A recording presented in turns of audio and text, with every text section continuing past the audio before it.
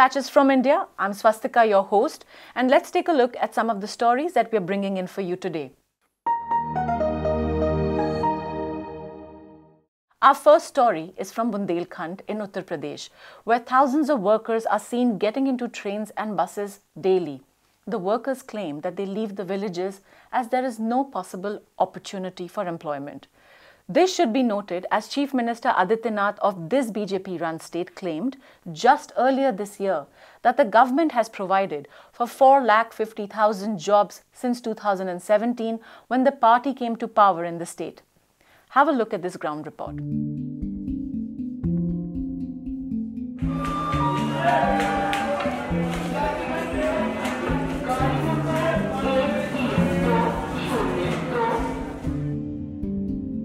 आप अहमदाबाद जाते हैं अहमदाबाद में रहते हैं। और ये जो चीनी पोत लगा है लाइट में इसके कंपनी में काम बनता है। वही अपना करते रहते हैं। और अपने बांदा ज़िले में ना कोई बुंदेलखंड में ना कंपनी है। और ऐसी कंपनी वंपनी होती तो हमें अहमदाबाद जाना ना पड़ेगा। लोग आपके साथ हैं? चार आदमी हैं। चार आदमी। कहाँ जा- पाँच हाँ पाँच। क्यों जा रहे हैं बाहर? अरे अब साहब काम बहुत नहीं मिल रहा है तो फिर जा रहे हैं। काम बहुत नहीं है तो जा रहे हैं। काम नहीं है। हाँ। काम क्यों नहीं है यहाँ पे? अरे अब किसानी का काम था हम्म। तो उसको कर लिया फिर मतलब जाया जाए कहीं काम बहुत दो पैसा लड़का बच्चों को कमा के लाया जाए। हम्म। तो कितने सालों से बाहर जा जा के काम करते हैं? अरे दो चार साल हो गया। हाँ। सर ऐसे ही चलता रहता है जैसे वहाँ से बाहर से कमा नहीं कुछ पैसा तो घर पे दिए तो चलता रहता है ऐसे ही। मतलब आप सात आठ लोग हैं घर में हाँ, सभी हाँ। बाहर जाके कमाते नहीं हम सभी बाहर जाते हैं कितना कमा लेते हैं एक दिन की मजदूरी में सर यहाँ जैसे अब वहाँ बता रहे हैं कि तुम्हारा खाना पीना पर तुम्हारा दस हज़ार रुपये बचेगा महीना में। कभी कोशिश की अपने यहाँ ढूँढने की काम? सर यहाँ काम तो ढूंढते हैं लेकिन वो मेरे का काम ही नहीं मिलता है। बस दो चार दो महीना तीन महीना पंद्रह दिन ऐसा ही काम मिला बस इसके बाद फिर घर पे आ गए। कभी ऐसे हुआ कि इमरजेंसी पड़ी है आपको घर आना पड़ा है घर में कुछ ज़रूरत पड़ी और आप ना आ पाए हो? नहीं आ पाए हमारे पिताजी ऑफ़ हुए तब भी नहीं आ पाए। अच्छा। बाद में आए हैं। बाद में आए हैं। जी। कितना पीड़ादायक है ये बाहर रहना। क्या कहें योगी जी तो बोल रहे थे कोरोना के टाइम वहाँ नेट में हम देखते थे हम्म, का जो बाहर वाले हैं यहाँ कंपनी इंडस्ट्री एरिया खोलाएँगे उनको वही रेट का यही पैसा मिलेगा। हम्म, अभी वही अभी आए हैं दो तीन महीना काम किया घर का खेत का हम्म। अब बुआई सब हो गया अभी फिर से तैयारी कर रहे हैं वहीं जाने की The state government of Tamil Nadu released a draft of its new resettlement and rehabilitation policy in early October this year. The government announced that the policy will focus on community engagement and areas where erstwhile slum dwellers will be resettled will have all the basic amenities such as healthcare and employment opportunities. However, experts and activists claimed that the policy totally fails to address the urban housing crisis. Neither the homeless population nor the large, population living in rented accommodations in urban areas. We spoke with Kishore Kumar, a research scholar, for a deeper understanding of the ghettoization of the urban poor. The housing crisis in Tamil Nadu is huge. And Tamil Nadu is also one of the most, I think Tamil Nadu is the most urbanized state in uh, India. Uh, the very census number gives you 55%, but if you go beyond that, I think it will be around 60% or so. So the housing crisis is quite huge in Tamil Nadu, but this policy has nothing to do with it. This policy is very clear. It is only about evicting people. And we should ask the question why that is the case why are you not talking about homeless people why are you not talking about the housing crisis why are you just interested in evicting people See, then we have then we have to look at it from a kind of a global context. Uh, because uh, now uh, particularly after the neoliberalism and after india opening up its economy the competition to attract foreign capital is quite huge. And the competition is not between indian cities and indonesian cities and Indian cities and other developing country cities. No, the competition is also between between the cities within India. So then you have to show your city something that is like Singapore, something that is like New York, right? Every time when a politician comes and says that, say, Singara Chennai 2.0, we want to make our city like Singapore. The question that needs to be asked is why should Chennai look like Singapore? Why can't Chennai be like Chennai? Why it should look like Singapore? What is the point of it, right? Uh, it is not just about infrastructure, it is about uh, giving a cosmopolitan character to your city and showing that this city can be something like your first world city. It will have all the facilities like first world city. And, and people just forget that the first world cities are cities for the rich in the first world cities. You go to New York, you see people who are living in pavements, homeless people are, because that's how the city is constructed. And that is the case with most of the first world cities. So the idea here is also the same. So, and also the idea is not about evicting these people from the land.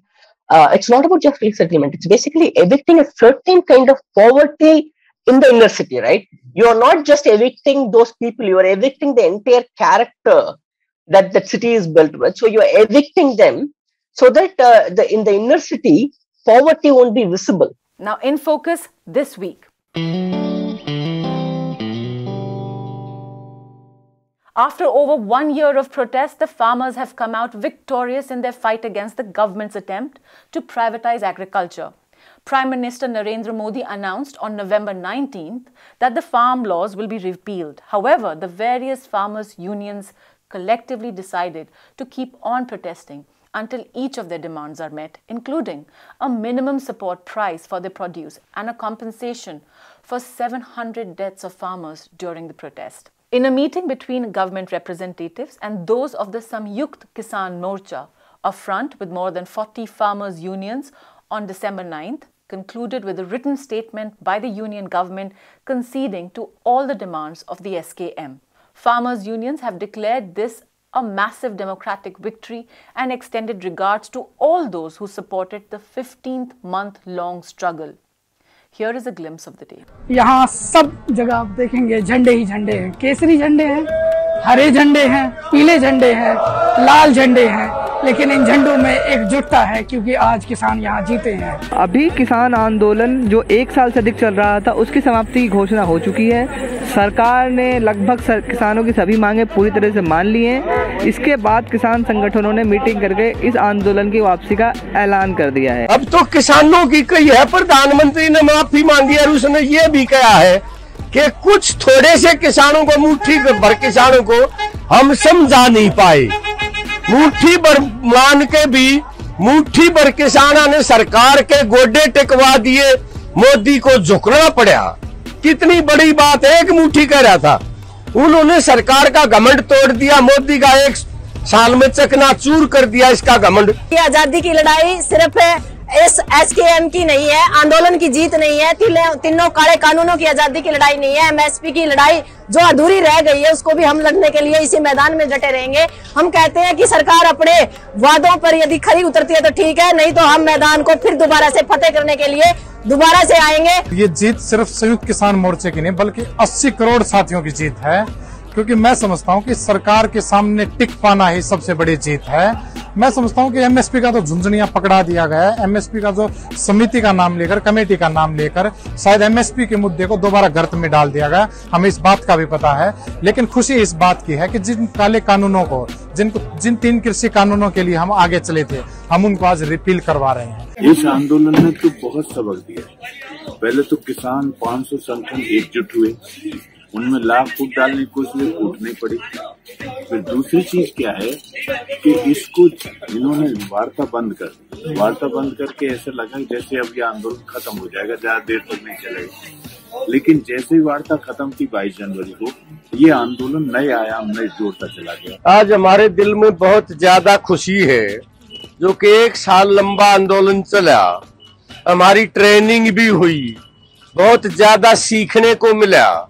जो हमारे पंजाब वाले साथी हैं, उनसे हमें आंदोलन में बहुत कुछ सीखने को मिला है।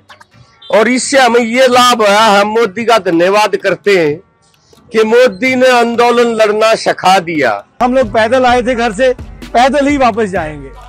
सबसे लास्ट में आए, जाएँगे। जब आए थे तब 16 किलोमीटर लंबा काफला लोगों ने घर बनाए हुए थे। दिल में एक बात है कि जब जाऊँ, उस तरफ़ की किसान मजदूर संघर्ष कमेटी की स्टेज से तो ये रोड पूरी की पूरी खाली मिलनी चाहिए। मतलब रवि भाई आखिर में जाएँगे, सबसे लास्ट में जाएँगे और सभी लोगों को विनती करेंगे आखिर में कि कहीं गलती से भी, गलती से भी उन लोगों को ना भूल जाएँ जिन्होंने साथ वो ये एक साल, तेरह दिन हमें यहाँ बिठाई रखा। भूल मत जाइएगा, भूल मत जाइएगा। बहुत लोगों ने कुर्बानी दी। आपके चैनल के हम अति आभारी हैं भाई साहब, जिन्होंने इतना सहयोग किया। दिल से आभारी A recent report released by Inequality Labs paints a dismal picture about India. According to the report, the top 10% of the Indians own 67% of the country's wealth. Now, this has very dire implications for the economy as this amount of concentration of wealth leaves very little for a large part of the country, which affects purchasing power as a whole. But it also has grave consequences for democracy. Now, how does democracy function when a small section has such a disproportionate hold over the country's wealth? Journalist Aunindyo Chakravarty analyzes this issue. The numbers are still very staggering because if you look at it, the top 10% of Indians, right, the top 10% own five times what the bottom 50% own. And if we take the total wealth of the bottom 50% and compare it to what the top 1% own, the top 1% own 1.7 times what the bottom 50% own. That's the kind of disparity that we have in India. And uh, if I uh, look at the uh, what an affluent person in the top 1% owns compared to an average person in the bottom 10%, it's almost a thousand times. It, all, it is almost 1000 times the annual earning compared to those who are at the bottom 10%. From 1951 to 1981, which we can call the period of Nehruvian socialism or Indira Gandhi's left turn in the 70s, the gap between the rich and poor actually narrowed. And uh, if we take the 1981 to 2021 period, right, you see that the uh, economic growth actually improved significantly. But what happened to the bottom 50%? The bottom 50%, their control over wealth and productive assets has dropped sharply and the top 1%, their control over productive uh, assets has gained significantly. So what does that mean? That it's this 1% and if you extend it to 10% then two-thirds of the wealth is owned by the top 10%. But this 1% can actually control everything. Not just productive assets like factories, offices, mines, uh, ports, airports, uh, power plants, not just them, but they can also control institutions. They, with their money, can control the media. They can manufacture content. They can, uh, by uh, funding political parties, decide what politics is going to exist in the country. They can decide policies.